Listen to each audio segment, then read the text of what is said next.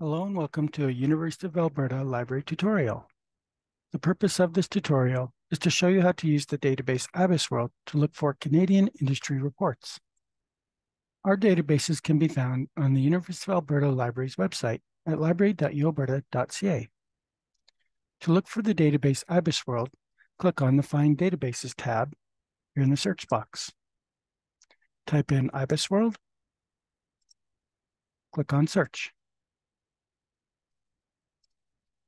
The University of Alberta Library subscription to IBISWorld provides access to North American industry reports.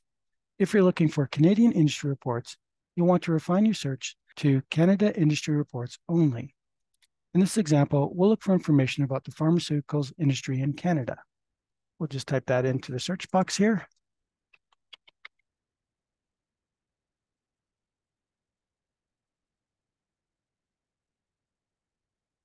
You'll notice that the search results include both US and Canadian industry reports.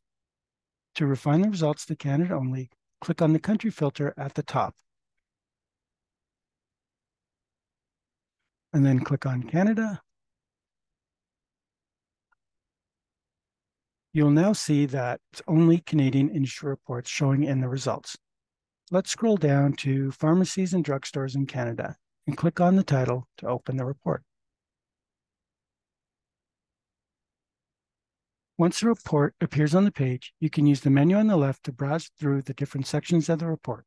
If you have something specific in mind, you can also search within the report by entering in your search terms in the search box at the top right side of the page. For example, we'll type in market share.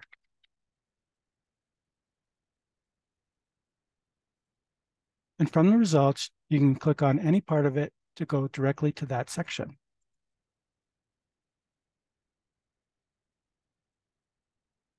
To print the report, you can download the entire report to print, or you can download specific chapters that you may be interested in. Thanks for watching this tutorial. For questions, contact us at library.ualberta.ca slash ask us.